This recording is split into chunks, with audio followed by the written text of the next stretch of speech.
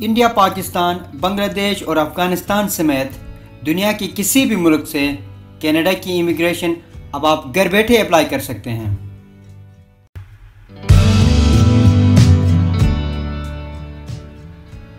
دوستو، ہم میں سے بہت ساروں کو اس بات کا تجسس رہتا ہے کہ کس طرح کینیڈین امیگریشن اپلائی کی جائے۔ اس کے لیے ہم بہت سارے کنسلٹنٹس کا چکر لگاتے ہیں۔ لیکن دراصل یہ ایک بہت ہی آسان اور سمپل پروسیس ہے۔ ہم خود ہی سی آئی سی کی ویب سائٹ پر اپنی پروفائل کریٹ کر سکتے ہیں اور اپنے پروسیس کو خود ہی دیکھ سکتے ہیں۔ اور اسی طرح کرنے سے ہم اپنا بہت سارا پیسہ بچا سکتے ہیں۔ آج کی ویڈیو میں سب سے پہلے ہم نے امیگریشن آف کینیڈا کی سٹرکچر کو سمجھنے کی کوشش کی ہے اور پھر اس کی ریکوائرمنٹس اور آخر میں کس طرح سے اپنی پروفائل کریٹ کی جائے اس پر ہم نے بات کی ہے۔ تو دوستو، چلتے ہیں سب سے پہلے ہم کینیڈین امیگریشن کی سٹرکچر کی طرف۔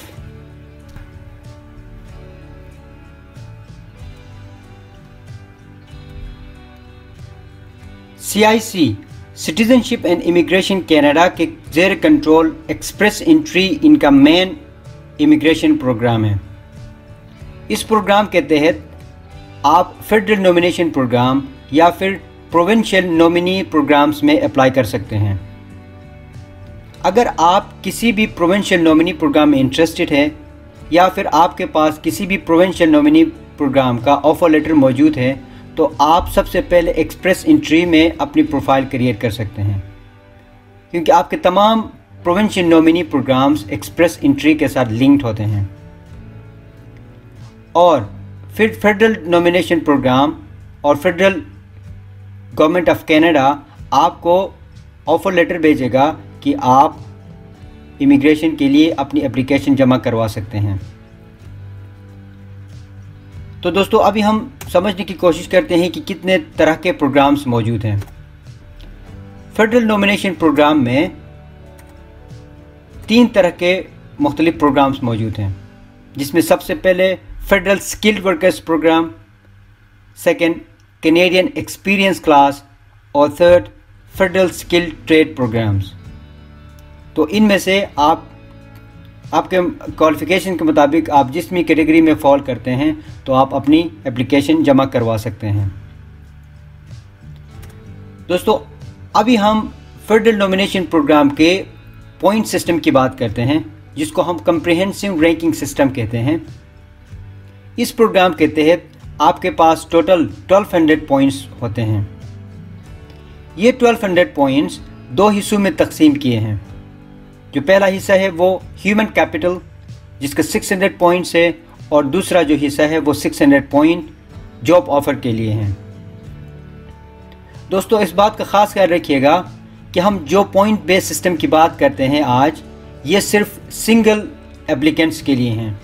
اگر آپ اپنی فیملی کے ساتھ امیگریشن اپلائی کرنا چاہتے ہیں، تو اس کے لیے پوائنٹ بیس سسٹم ڈیفرنٹ ہے۔ تو دوستو، سب سے پہلے سکس ہنڈریڈ پوائنٹس جو ہیومن کیپٹل کے لیے مختص ہے اس پر بات کرتے ہیں۔ یہ پوائنٹس پانچ ڈیفرنٹ فیکٹرز پر موجود ہوتے ہیں۔ سب سے پہلے ایج اگر آپ بائیس سے تیس سال کی عمر کے ہیں، تو آپ کو maximum one hundred and ten points مل سکتے ہیں۔ اگر آپ تیس سال سے زیادہ ہیں، تو آپ کے ہر سال پانچ پوائنٹس کم ہوتے جائیں گے۔ سیکنڈ جو اس کا فیکٹر ہے وہ ایجوکیشن کا۔ One hundred and fifty points جو میکزیمم ہیں، آپ کو پی ایچ ڈی کے لیے مل سکتے ہیں۔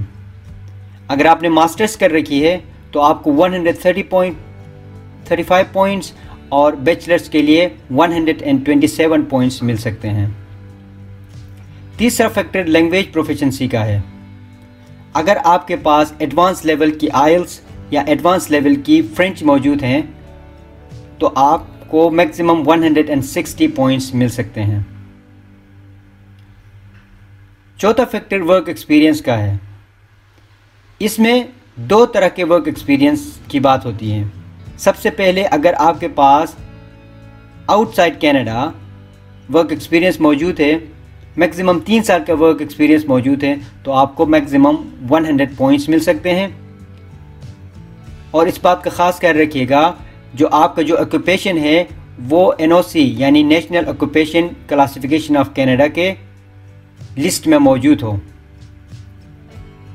یہ بہت سارے اکوپیشنس کی لسٹ جو سی آئی سی کی ویب سائٹ پر موجود ہے، ان کی تین کیٹیگریز ہوتی ہیں۔ جو پہلی کیٹیگری ہے او کیٹیگری جس میں مینیجریل لیول کی جابس ہوتی ہیں یا اکوپیشنس ہوتی ہیں۔ دوسری اے کیٹیگری ہے جس میں پروفیشنل جابس موجود ہوتی ہیں اور تیسری بی کیٹیگری ہے جو کہ آپ کی ٹیکنیکل جابس کی کیٹیگری میں آتی ہیں۔ اگر آپ کے پاس کینیڈین ورک کا ایکسپیرینس موجود ہے تو آپ کو میکسیمم ایٹی پوائنٹس مل سکتے ہیں۔ آخری ایڈیشنل جو پوائنٹس ہے وہ اگر آپ کے ہسبینڈ یا وائف کینیڈا میں موجود ہوں یا آپ کا بھائی یا بہن کینیڈا میں ہیں اور اگر ان کے پاس سٹیزن شپ یا پرمنٹ ریزیڈنسی ہے تو آپ کو ایڈیشنل پوائنٹس مل سکتے ہیں۔ دوستو جو دوسرے سکس ہنڈریڈ پوائنٹس ہے وہ آپ کے جاب آفر لیٹر کے لیے ہوتے ہیں۔ اگر آپ کو کینیڈا کے کسی بھی امپلائر کی طرف سے جاب آفر ہے تو آپ کو ایڈیشنل سکس ہنڈریڈ پوائنٹس مل جائیں گے۔ یہ پوائنٹس آپ کے ہیومن کیپٹل پوائنٹ کے ساتھ مل کے آپ کے ٹوٹل پوائنٹس بن جائیں گے جو کہ آپ کی آفر لیٹر کے لیے کافی ہوں گے۔ دوستو، ابھی ہم پروونشل نومنی پروگرام کی بات کرتے ہیں۔ دس پروونسز اور دو ٹیریٹوریز تقریباً اسی سے زائد امیگریشن پروگرامز آفر کرتے ہیں۔ ہر پروونشل نومنی پروگرام کا اپنا کرائٹیریا اور اپلیکیشن کا پروسیس ہوتا ہے۔ آپ جس کسی بھی پروونشل نومنی پروگرام میں انٹرسٹڈ ہے تو آپ کے ان کے پرٹیکولر ویب سائٹ سے ان کی انفارمیشن مل سکتی ہے۔ اگر آپ کے پاس کسی بھی P N P provincial nominee program کی آفر لیٹر موجود ہو، تو اس کے سکس ہنڈریڈ پوائنٹس ہوں گے اور یہ آپ کی جو mainstream federal express entry program کی جو فائل ہے، اس کے ساتھ ایڈ ہوں گی۔ اگر آپ پی این پی میں اپنی پروفائل کریٹ کرنا چاہتے ہیں، تو سب سے پہلے آپ کو ایکسپریس انٹری کے مین سٹریم میں پروفائل کریٹ کرنی پڑے گی۔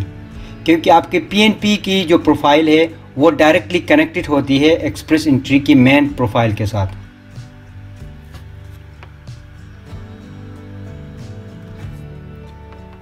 اب بات کرتے ہیں ریکوائرڈ ڈاکیومنٹس کی۔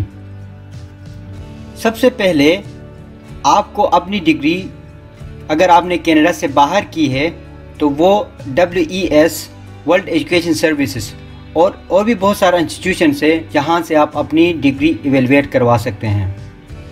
اس کا پروسیس سمپل ہوتا ہے کہ آپ کو اپنی یونیورسٹی سے ورلڈ ایجوکیشن سروسز کو ڈائریکٹ اپنی ڈگری بھیجنی پڑے گی اور ورلڈ ایجوکیشن سروسز وہ کینیڈین ایجوکیشن سسٹم کے ساتھ ایگولیٹ کر کے آپ کو ٹرانسکرپٹ ایشو کرے گا۔ سیکنڈلی آئلس کا جرنل آئلس کا آپ کے پاس ٹرانسکرپٹ ہونا ضروری ہے۔ آپ کے پاس اگر ایڈوانس لیول کا جرنل آئلس ہے تو آپ کو اس کے میکزیمم پوائنٹس مل سکتے ہیں۔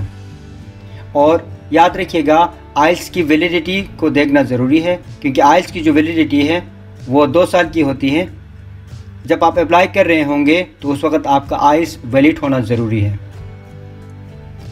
تیسری جو امپورٹنٹ ریکوائرمنٹ ہے وہ ہے فائنینشیل ریکوائرمنٹ اگر آپ ایک سنگل پرسن کینیڈا امیگریٹ کرنا چاہتے ہیں، تو آپ کے اکاؤنٹ میں twelve thousand six hundred and sixty nine Canadian dollars ہونا ضروری ہے۔ دو پرسنس کے لیے fifteen thousand seven hundred seventy five اور تھری پرسنس کے لیے nineteen thousand three hundred and ninety dollars ہونا ضروری ہے۔ اور یاد رکھیے گا، یہ اماؤنٹ آپ کے اکاؤنٹ میں سکس منتھس تک ہونا ضروری ہے۔ امیگریشن آفیسر آپ سے اس اماؤنٹ کی سورس کے بارے میں پوچھ سکتا ہے۔ تو اگر آپ امپلائی ہیں، کہیں کام کر رہے ہیں، تو آپ کو سیلری سلپ شو کرنے پڑیں گی۔ اور اگر آپ کے پاس بزنس ہے، تو آپ کو بزنس کے ڈاکیومنٹس شو کرنا پڑے گا۔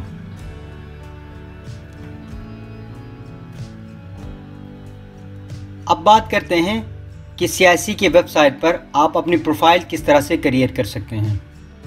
اگر آپ کے پاس تمام ریکوائرمنٹس موجود ہیں، اگر آپ کوالیفائی کرتے ہیں، تو پھر آپ کو اس لنک سے اپنی پروفائل کریٹ کر سکتے ہیں۔ اگر آپ اپنے سارے جو ریکوائر فیلڈ ہے وہ فل کریں گے اور آپ کی پروفائل کریٹ ہو جائے گی، تو اس کے بعد آپ کو ایک جاب سیکر کوڈ مل جائے گا جو آپ کی پروفائل پر شو کرے گا۔ وہ جاب سیکر کوڈ آپ جاب بینک کینیڈا کی ویب سائٹ پر آپ اپنی پروفائل کریٹ کرنا پڑے گا اور وہ لنک کرے گا آپ کی مین سٹریم ایکسپریس انٹری کے پروفائل کے ساتھ۔ پھر کینیڈا کے کسی بھی پروونس میں یا کسی بھی سٹی میں جہاں پر آپ کو آپ انٹرسٹڈ ہو، وہاں کے تمام آپ کے جاب سے لنکڈ اور ریلیٹڈ جاب آفرز آپ کو مل جائیں گی، وہاں سے آپ خود بھی اپلائی کر سکتے ہیں اور یا پھر وہاں کے جو امپلائرس ہے وہ آپ سے رابطہ کریں گے کانٹیکٹ کریں گے اور پھر آپ ان سے کرسپونڈنس کر سکتے ہیں اور اسی طرح سے آپ کے جاب اپرچونیٹی سے وہ آپ ان کو میگزمائز کر سکتے ہیں۔